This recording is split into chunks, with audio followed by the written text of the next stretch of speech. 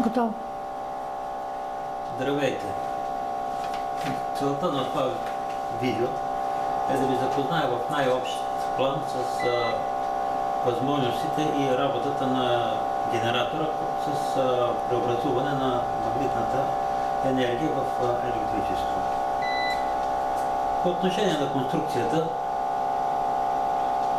в основата на този генератор стои интегриращ акумулатор на магнитни потоци Incom. В нашия случай той е само един, но могат да бъдат и повече от един, два, три или четири, зависимост от това какво конструктивно решение ще бъде избрано за генератора. Принципа на работа е добре познат от описанията, които съм дал в моя сайт incomdelta.com. Там са показани принципите на управление на магнитен поток, осъществени чрез този е, интегриращ на магнитни потоци, който е мое изобретение. Той е моя разработка и решението е, може да се каже, доста елегантно и економично. Принципа на работа се базира на добре познатият ни закон на Фарадей, като в случая промяната на магнитното поле се осъществява по чисто електричен път, чрез неговото комутиране в различни направления. Докато при обикновен генератор с постоянни магнити, които се използват, там се прилага механична енергия, като се развърта ротор, на който има примерно на който са поставени постоянните магнити или пък обратно, на който са намотки и така нататък.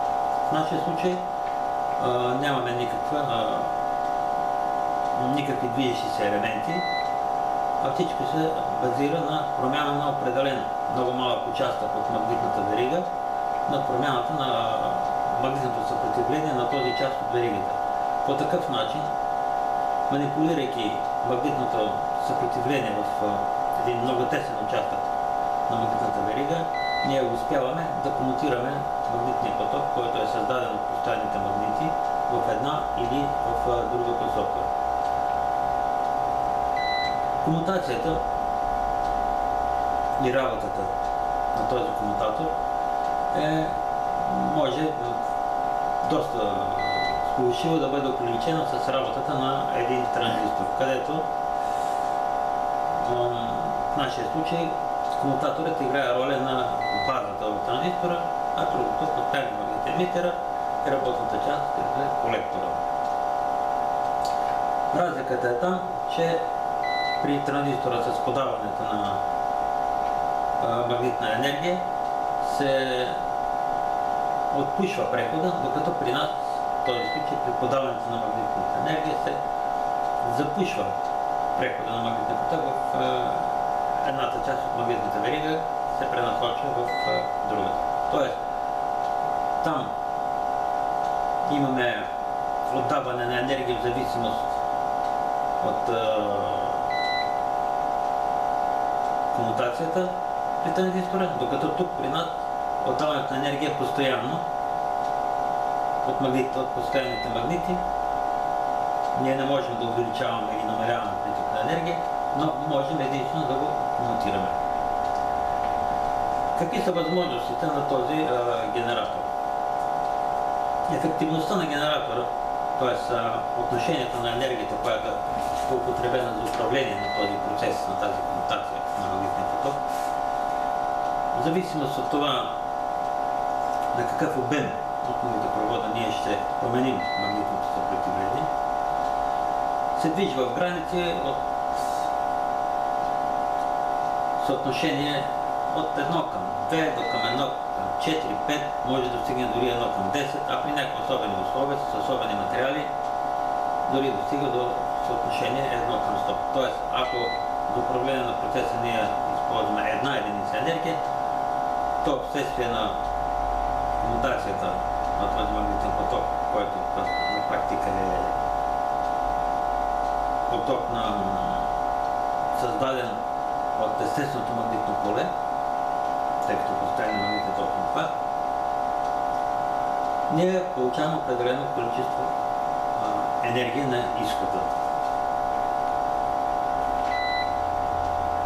Режими, на, режимите на работа на генератора са няколко, т.е. позволява доста голяма гъвкавост в това отношение. Например, в сегашния случай работи от акумулаторна батерия, акумулаторна батерия 72 волта, 4,5 ампери часа или пък са.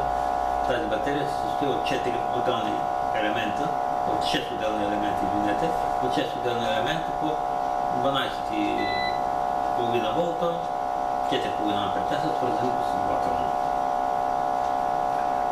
Освен това, има възможност да работи и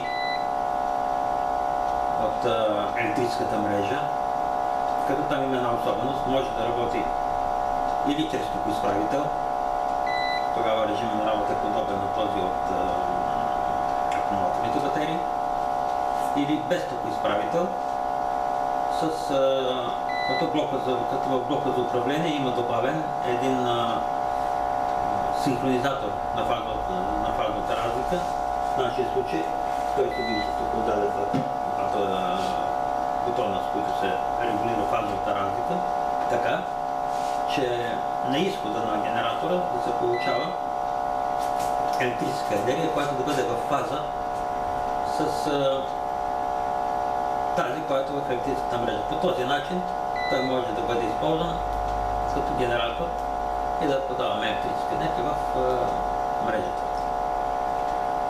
Изхода този генератор има два режима на работа. Един режим е изход с постоянен ток напрежение, другия режим е изход с променливо, почти синусоидално ток напрежение, което позволява да бъдат включвани и електрически машини, които изискват синусоидална форма на тока и напрежението. Отделно, освен това, в нашия случай тук има изход. Води. Изход, на който, а, който служи за зареждане на акумулаторни батерии. Тоест, както сега работят акумулаторни батерии, 6 броя, в същото време с част от енергията, която е на изхода, ние можем да зареждаме други, други 6 акумулаторни батерии. По такъв начин ние можем да осъществяваме ротация на акумулаторните батерии. Този амперметър би, би показвал тока на заряд, а това е този амперметър, волтметър би, би показвал напрежението, което се става заряда. Този волтметър тук показва напрежението на входа, когато е постоянно напрежение. Този волтметър показва напрежението на изхода, това е тока на изхода, когато е постоянно. Това са контролни точки за измерване. Това е контролна точка за измерване на входа. Контролна точка за измерване на формата на сигнала след електронния ключ, след който се изпълнява, чиято роля изпълнява един транзистор IGBT. А това тук е контролна точка за измерване формата на изходното напрежение и ток. Приложението може да бъде най-разнообразно на този генератор. Той може да бъде като елемент в различни транспортни средства. Може освен това да бъде елемент от медицинска апаратура, в бита, като елемент от отоплителна инсталация или нещо друго. За, също така и за производство на електроенергия, когато се използва централизирано. В случая този генератор позволява мощност на изхода до 3500 вата. В нашия случай тя е по-малка, това е направено с цел за а, демонстрация. Ефективността на този генератор обикновено се определя като съотношение на, на мощности. Мощност употребена на входа за управление на процеса и мощност употребена на изхода, употребена от товара, който е подключен към генератора. В следващия видео, в следващото видео ние ще направим една кратка демонстрация като ще измерим мощността на входа и на изхода и ще изчислим каква ефективността в дадения случай.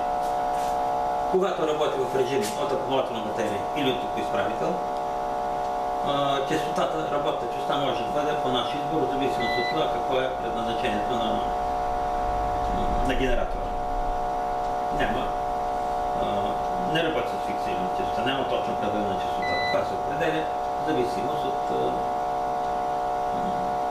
това за какво се употребява.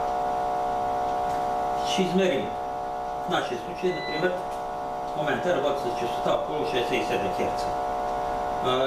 Измерването на мощността ще бъде направено чрез осцилоскоп Tektronix 4 канален DPO 3014 като мощността ще бъде измерена посредством анализатор на мощност, който е вграден към а, този осцилоскоп.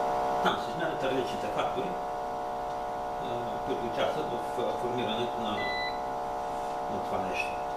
Подно напрежение, РМС, ток РМС, прес фактори по напрежение, ток, а, фактор мощност и други такива неща, които в случая нас не ни интересуват, нас интересува единствено отношението на мощностите. Пак казвам, ще измерваме отношение на мощности. Абе, това е да пристъпим към а, Чакай, нали втората част на демонстрацията. Това е.